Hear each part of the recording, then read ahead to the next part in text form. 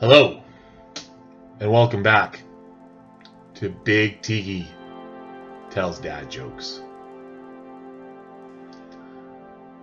Imagine if you walked into a bar and there was a long line of people waiting to take a swing at you. That's the punchline. How does a man on the moon cut his hair? Eclipse it. Air used to be free at the gas station. Now it's a buck fifty. You know why?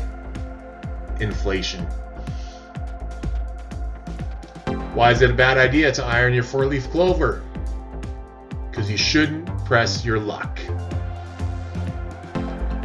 I ordered a chicken and an egg from Amazon. I'll let you know. Thank you for tuning in again to Big Tiki Tells Dad Jokes. Have a great day.